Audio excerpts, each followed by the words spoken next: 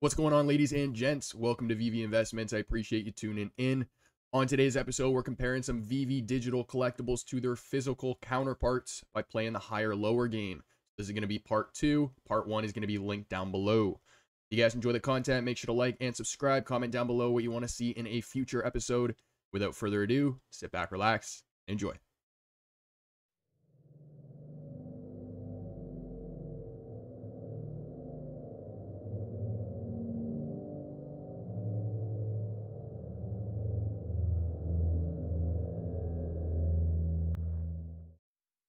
For anyone who missed part one and doesn't know how the traditional higher lower game works, you're given two topics and based on the amount of Google searches they receive on a monthly basis, you want to guess whether the second topic is higher or lower than the first. So today we're applying this to VeVe collectibles and you guys can guess whether the digital or physical cost more. We're talking about 10 different types of collectibles in today's episode. So with that being said, let's hop into the first one. So we're starting off with Self-Made, one of my personal favorites on the app. But on the left-hand side, we're to have the digital version that's on VeVe. On the right-hand side, we have two different variants. We have a brown version with a little bit of green on the trunk. Then we also have what they refer to as an ash version, which, by the way, I could not find online. Now, I'll give you guys a little hint here. On the left-hand side, you're to have 250 editions minted total for the digital version. And on the right-hand side, both physical versions have 200 editions. So they're very, very close, only 50 apart. What do you guys think? Is the digital or physical more expensive? Okay, so the digital version on VeVe right now is sitting around 700 gems in the market. The brown physical version, the cheapest one I could find online, keep that in mind. I'm basing this off the cheapest version. Physical prices are going to be all over the place because there's a lot more variables involved. Have they been discolored? Have they been opened? Are they scratched? Etc. Etc. But the cheapest one I could find was around 229 USD. And then as I mentioned before, I could not find an Ash version for sale online every single listing I clicked on, it just said not available or sold out, or just notify me if available. There was one listing that I found in the description before I actually clicked on the link that said that it was around 1400 but again when I clicked on it it said it was sold out. So I am assuming that the ash version is going to be more expensive than the two to the left. I do believe the price of it is over a thousand dollars. There's none for sale that I could find online and if you do find somebody who's willing to sell it I'm sure it's well over that amount.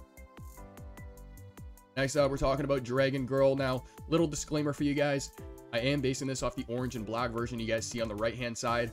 I ended up cropping out the pink one on the left-hand side just to find out that the only one that they sell on their website right now is the one on the right. The only image I could find online of the pink and gold version was the actual prototype, but there was no price attached to it. So I'm basing this off of the one you guys see on the right hand side, even though I have the image of the pink one on the left. But what do you guys think? Is the VeVe version more expensive or is the physical one going to take it home? Big, big discrepancy here. So roughly 30 gems in the secondary market for the digital version. Again, the orange and black version.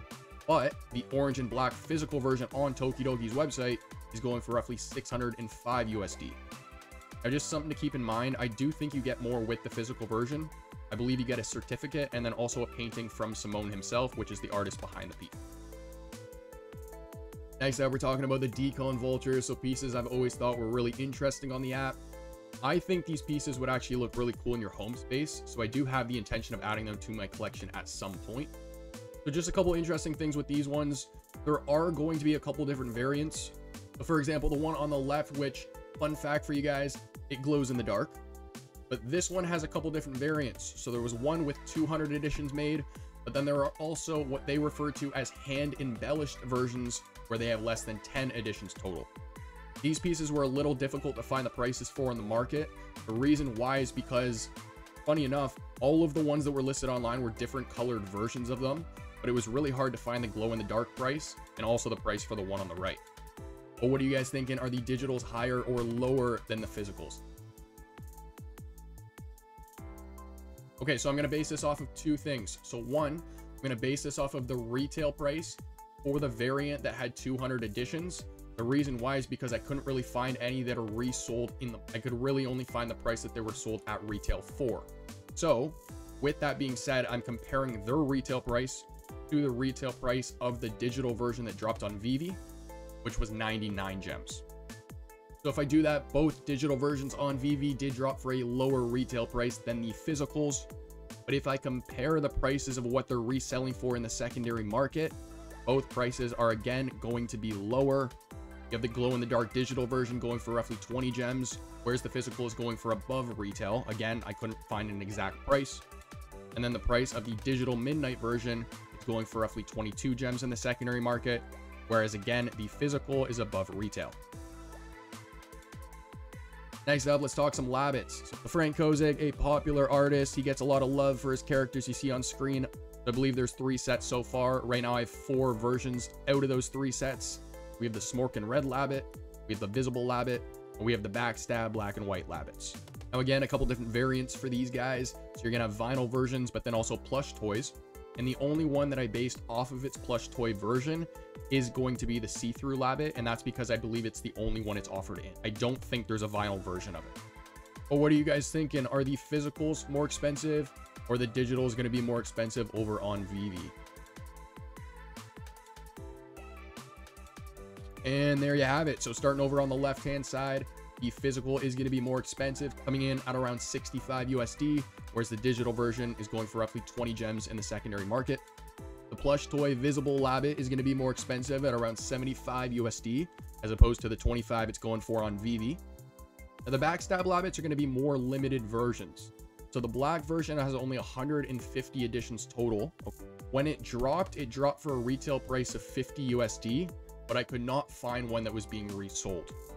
The one on VeVe is going for roughly 240 gems in the market, but because I couldn't confirm the price of what the physical is currently going for, I just highlighted it yellow. My best guess is the physical is worth more. As for the white version, there was 550 editions that were made total. Again, it dropped for a retail price of 50 USD, but it's currently going for only 16 gems in the secondary market on VeVe. Now, similar to the black version, I could not find what it's being resold for, but I think it's safe to assume that it's worth more than retail. Next up, let's talk about some more decom pieces. This time, the skulls from Sket 1. Why don't I give you guys another hint for this one, just like I did for Self-Made. So on the left-hand side, the digital version is going to have 666 editions, whereas the physical is going to have 222 editions. In the middle, we have the black and gold version.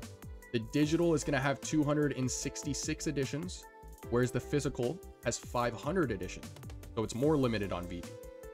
And then on the right hand side, the digital version is going to have 666 editions, whereas the physical 777. So based off those edition sizes, what do you guys think? Are the prices for the digitals higher or lower? The colorful variant right now is currently being sold for 150 USD, whereas the digital version on VeVe only 18. The black and gold version retails at 150. In fact, all of the physicals are priced at that amount. But the digital version on VeVe is going to be a little bit more expensive. Like I said, it is a little bit more rare. So it's going for roughly 200 gems in the secondary market. And as for the variant on the right, again, retails for 150 USD, whereas the digital much lower at only 16 gems in the market. Next up, we got some Infinity Stones again, and a little shout out to Bill Gardner here for the post over on Twitter but he was walking through Epcot and he came across some of the physical versions of the digital Infinity Stones on the platform. The first up, we have the Tesseract, we have the one from the Thor series, we have the Eye of Agamotto, and the Loki Scepter. And just if you guys are wondering why I blacked out part of that caption, it's just because he lists the price there, so I didn't want to kind of just spoil it right away. but what are you guys thinking? Which is higher or lower? The digital versions on the left the physical versions in the display case on the right? And there you have it. Each and every digital version is going to be cheaper on the app.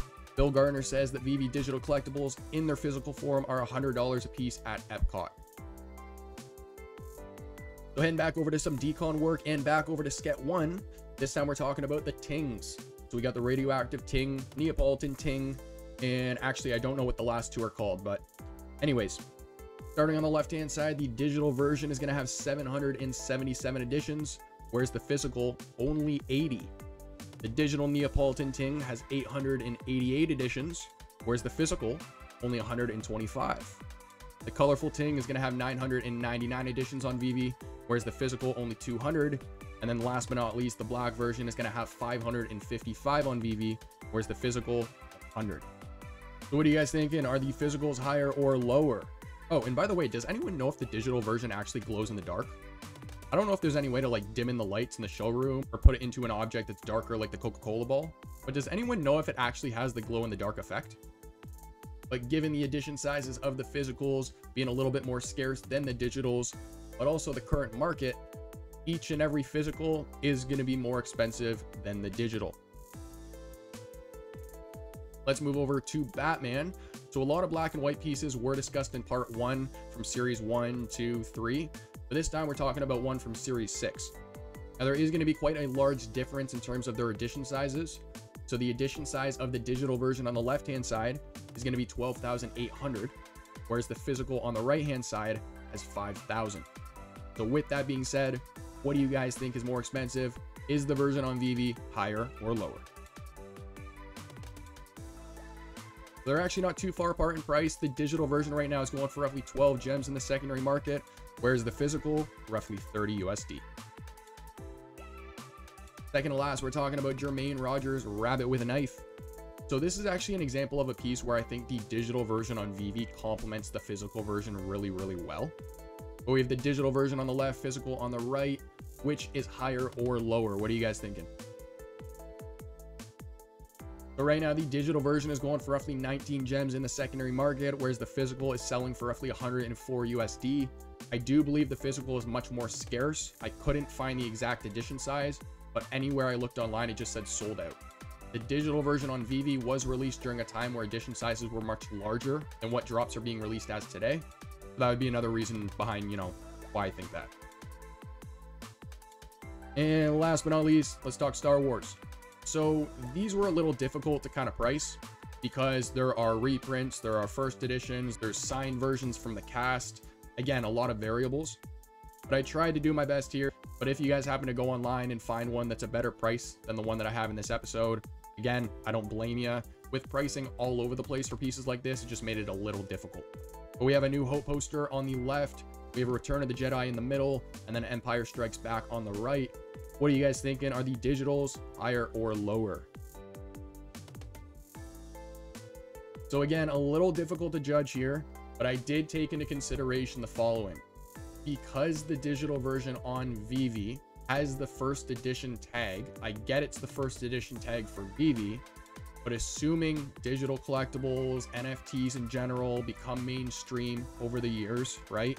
And this first edition tag really becomes important on the platform, like we all think it will, then I did compare it to the original physical posters.